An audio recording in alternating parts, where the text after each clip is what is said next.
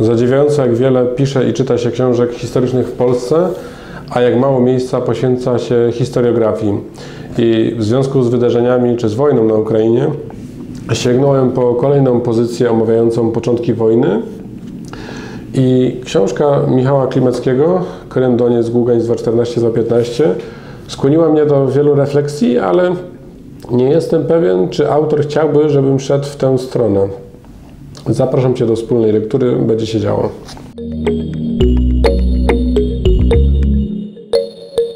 Znaczy, chyba odzwyczaiłem się od takiego czytania o historii, o wydarzeniach historycznych e, w taki bezosobowy sposób, bo właściwie cała praca jest napisana w taki sposób, że wydarzenia się dzieją, ludzie strzelają, decyzje zapadają, plany się tworzą, a życie płynie po ukraińskim stepie.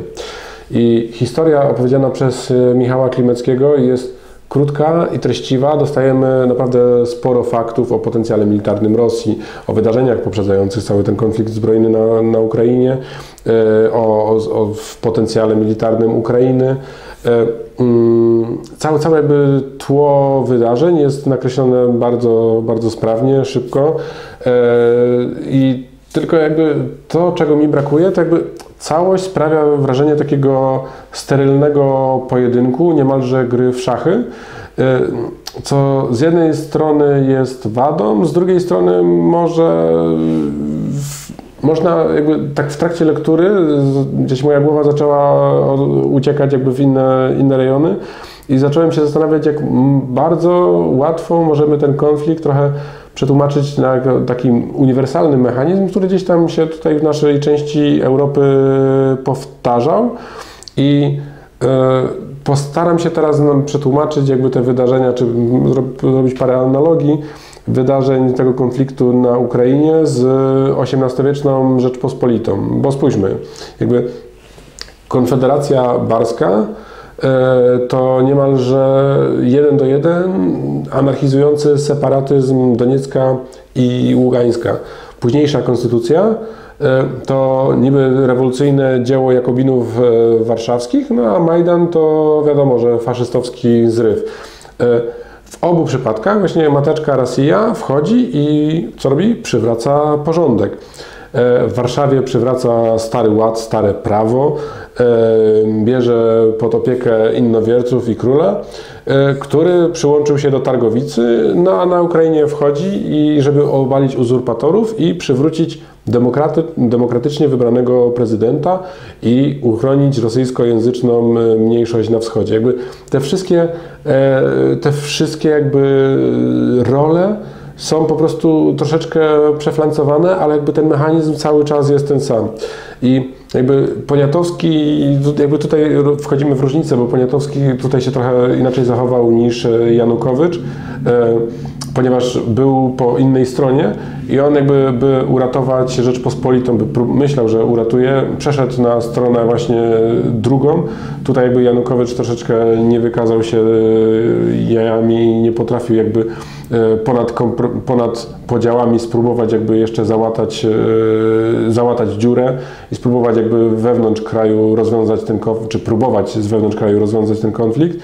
E, I, i jakby tu, są też, pojawiają się różnice, e, bo jakby Poniatowski pomylił się, ale wydaje mi się, że był znacznie lepszym politykiem niż e, Janukowicz i trzeba jakby docenić jego próbę znalezienia tego właśnie wewnętrznego rozwiązania.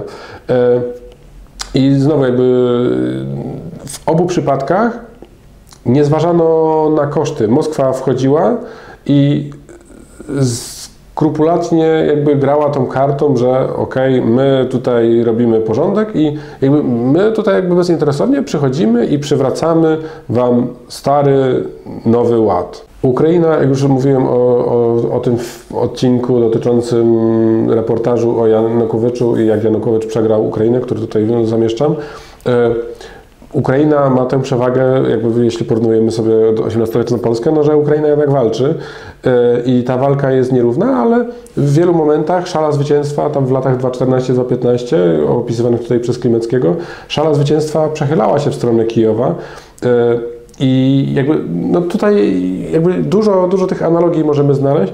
Jakby to, to, co mi przeszkadzało, jakby to znowu to sztywne, sztywne pisanie takie tym bezosobowym językiem, które cały czas sprawia, że ludzie schodzą na dalszy plan, nawet jeśli walki są krwawe, to są to, ludzie są określani jako bezosobowe straty. I no to jest taka jakby bezosobowa księgowość militarna, zyski, straty, armaty, nie? Jakby nic, nie dostajemy tutaj jakby tego wymiaru ludzkiego i jakby może nie będę się odnosił aż tak mocno do autora, bo jakby sobie zdaję z tego sprawę, że to jest specyfika serii, o, właśnie latają F-16, także jakby człowiek mówi o wojnie i, i już jest.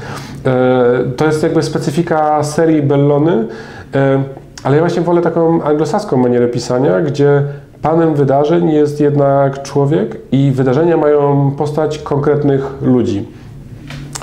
I myślę znowu, jakby, tak jak też w materiale o, o tym Janukowyczu, że e, znowu tutaj jest ta przewaga solidarności, o tym samo ograniczaniu się solidarności, bo wydaje mi się, że e, kolejny raz czytając o wydarzeniach na Ukrainie, że Majdan, szkoda, że przegapił tę lekcję, e, no bo dzisiaj nie byliby w tym miejscu, w którym są.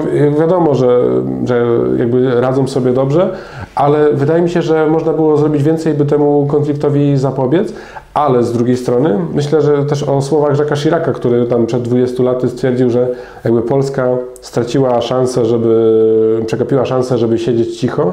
Ja myślę, że Y, teraz, jakby wtedy Chirac miał rację, że jakby ten konflikt w Iraku jakby to, to była gdzieś bardziej awantura, y, że myśmy za szybko wyrwali w kamasze, ale z drugiej strony od wybuchu pełnowymiarowej wojny na Ukrainie to Zachód zmarnował szansę, by być aktywnym. Jakby ja nie mówię, że mieli wejść w pełnowymiarowy konflikt z Rosją, e, ale mogli w bardziej zdecydowany sposób e, zareagować już w zasadzie w tych, też w tych latach 2014-2015, a Rosja cały czas to wykorzystywała i wykorzystuje i mam nadzieję, że po prostu w przyszłości będziemy mądrzejsi.